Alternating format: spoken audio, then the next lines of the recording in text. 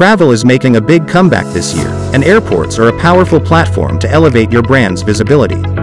Take advantage of the tremendous opportunities at Jomo Kenyatta International Airport and Mombasa International Airport, Kenya.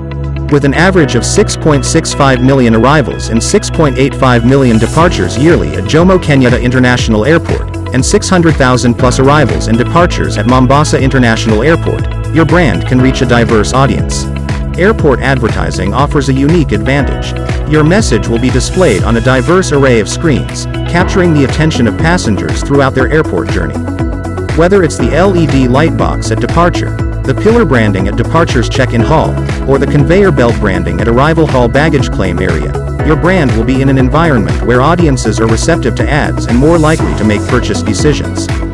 Target your desired audience profiles, including families, leisure travelers, and C-level executives. Airport advertising provides a unique opportunity to connect with these valuable demographics. Don't miss out on the resurgence of travel.